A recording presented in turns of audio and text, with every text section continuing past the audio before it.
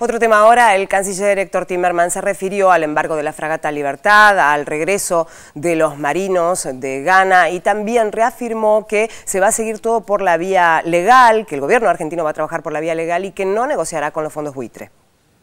El juez en Ghana, que embargó la fragata a de los fondos buitres, tomó una decisión que eh, era de, cumplimiento imposible y dejaba la fragata sin combustible eh, y por lo cual eh, la tripulación corría, corría serios riesgos. ¿no? No, no había, cuando se acabe el combustible, si no podíamos conseguir más combustible, porque el juez nos negaba ese derecho, este, no iban a andar ni las cámaras frigoríficas para los alimentos, no iban a andar las bombas contra incendios, distintos elementos que hacen a la seguridad del barco. Por ese motivo la presidenta tomó la decisión de dejar la dotación mínima necesaria para mantener en buen estado el barco y al resto de los tripulantes traerlos a Buenos Aires por su propia seguridad.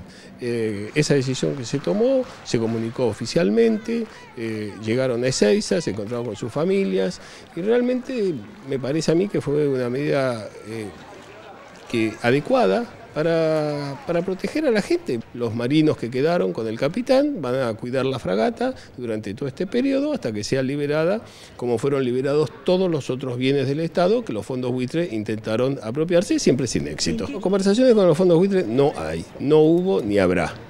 Desde que asumió Néstor Carlos Kirchner, en el 2003, la Argentina no negocia con los fondos buitres y no va a negociar.